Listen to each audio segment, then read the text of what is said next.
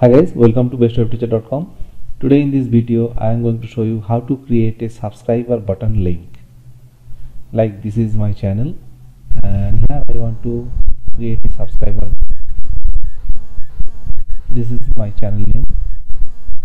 So this is my channel name and here I want to create one subscriber button link.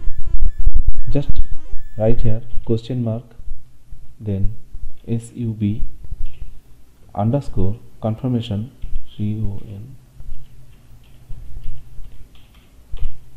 equal to 1 so this is the subscriber button link.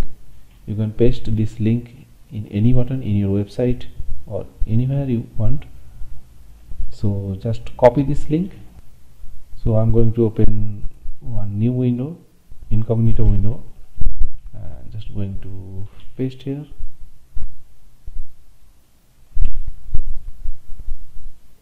now it's asking for subscribe.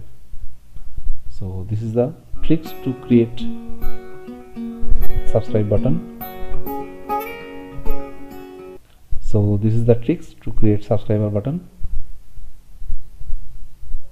Thank you and have a nice day. Please subscribe this channel and like this video.